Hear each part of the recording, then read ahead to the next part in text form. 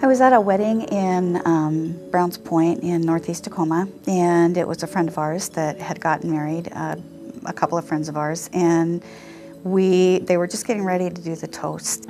A friend of mine suggested that uh, I, I wasn't feeling very well and that we were we were getting ready to leave, and he suggested that we stay until after the toast, and that's about the last thing I remember. I happened to look to my left, and Chris uh, slowly began to, to slump over his chair uh, in a seizure like manner.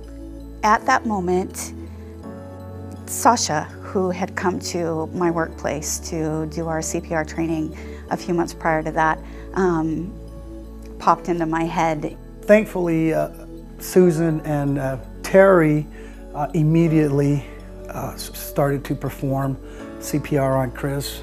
Susan started uh, uh, chest compressions while Terri did the breathing. It's a moment in time where you can be scared and run, and that's okay because it's not easy. Or you can use what you've learned and go for it. And she did that. I remember at one point looking around the room very quickly, and it was quite a large wedding, and I remember seeing all these eyes on us. And I remember thinking, um, these people all know me. They're all my friends. And that added pressure of being in a room performing CPR on someone that you know and love with all of your friends around you.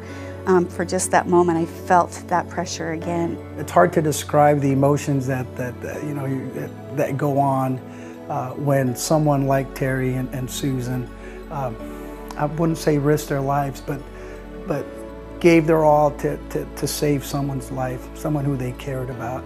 I feel like someone who was very well trained by the Red Cross and had an opportunity to respond.